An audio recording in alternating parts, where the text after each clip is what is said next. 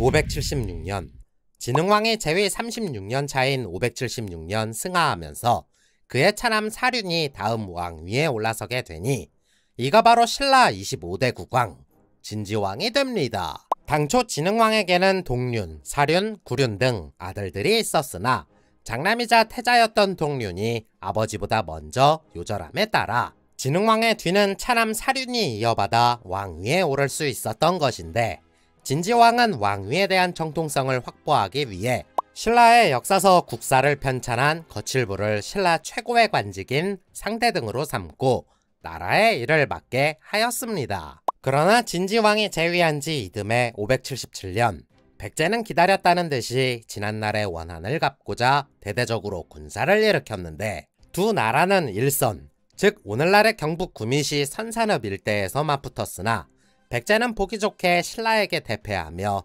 또다시 체면을 구길 수밖에 없었습니다. 이에 백제의 침공에 대비하고자 인근에 내리 서성을 쌓았으며 다음해에는 중국 진나라에 토산물을 바치며 새로운 왕이 등극했음을 알리기도 했습니다. 그런데 삼국사기 기록에는 제위 4년 차인 579년 갑자기 왕이 죽었다는 기록을 끝으로 진지왕의 기록은 나타나지 않는데 진지왕이 왕위를 넘긴 이유에 대해서는 삼국사기가 아닌 삼국유사에서 그 이유를 찾을 수 있습니다. 삼국유사 권 제1, 제1기 도화녀 비형량 편을 보면 진지왕이 주색에 빠져 음란하고 정사가 어지러움으로 신하들이 그를 폐위시켰다고 기록하고 있는데 잠시 이 이야기를 살펴보자면 신라 사량부에 살고 있는 한 여인의 자태가 매우 아름다워 모두들 좋아했으며 이런 그녀의 이름은 도화랑이었습니다. 마침 이 소식을 접한 진지왕도 그녀를 보기 위해 궁으로 불러들이게 되고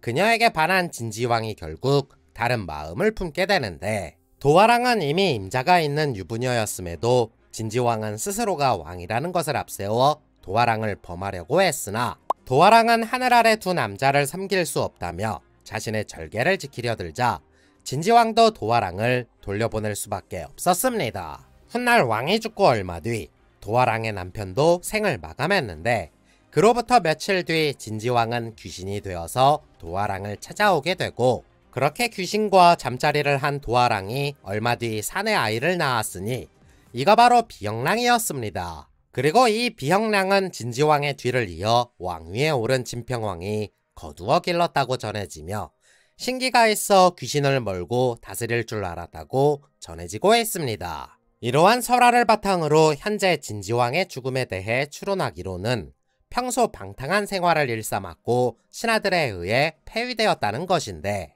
일각에서는 형이었던 종륜의 아들 백정, 즉 진평왕 세력과의 권력 다툼에서 패배해 밀려난 것이 아닌가 추측하고 있습니다. 아무튼 진지왕도 재위 4년 만인 579년 승하함에 따라 진지왕의 형이었던 동륜의 아들 백정이 다음 왕위에 올라서게 되니 이가 바로 신라 26대 국왕 진평왕이 됩니다. 그러나 진지왕의 폐위 과정에서 석연치 않은 부분이 있었기 때문에 진평왕도 재위 초반에는 이래저래 신경 쓰일 일들이 많았는데 때문에 581년부터 591년까지 여러 국가 기관들을 설치하고 연호를 건복으로 바꾸는 등 왕권을 강화하기 위해 노력하였습니다. 하지만 진평왕 치세기에는 이를 막아내는 것도 많이 부담스러울 정도로 백자와 고구려로부터 많은 침략이 있었는데 특히나 고구려의 경우 신라와 화친을 맺으며 사이가 다소 좋았음에도 불구하고 영양왕이 등극하고 난 이후부터 줄기차게 신라를 공격했습니다.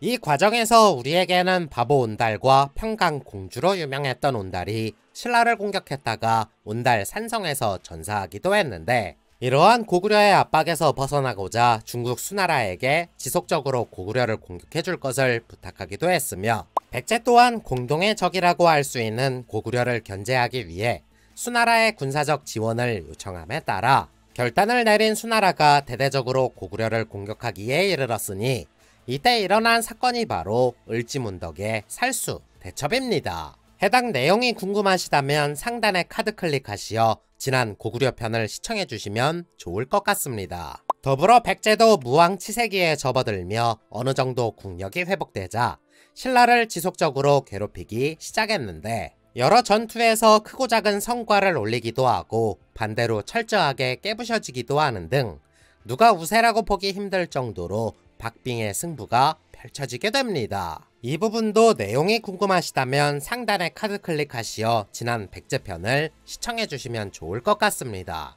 아무튼 진평왕은 재위기간만 53년으로 굉장히 오랫동안 왕으로서의 역할을 충실하게 해냈는데 때문에 이 시기에 전해지는 설화가 제법 많은 편입니다. 지난 백제편에서 소개해드렸던 서동여 이야기에 등장하는 선화공주도 진평왕의 셋째 딸입니다. 더불어 화랑의 정신이라 일컬어지는 세소곡의 이야기도 이때 만들어졌으며 무엇보다 신라 후기를 책임지는 김유신과 태종 무열왕 등 신라의 인재들이 이 시기부터 등장하기 시작해 신라 역사에 상당한 비중을 차지하고 있음을 알 수 있습니다. 결국 진평왕도 재위 53년 차인 632년 승하함에 따라 장녀였던 덕만이 다음 왕위에 올라서게 되니 그녀가 바로 신라 27대 국왕 선덕 여왕이 됩니다. 그리고 그녀는 한국사 역사상 최초로 여왕으로 기록되고 있으며 진덕여왕, 진성여왕과 함께 신라 3대 여왕으로 우리에게 전해지고 있습니다. 영상이 재밌었다면 구독과 좋아요를 눌러주시고 재미없었어도 구독과 좋아요 좀 눌러주세요. 감사합니다.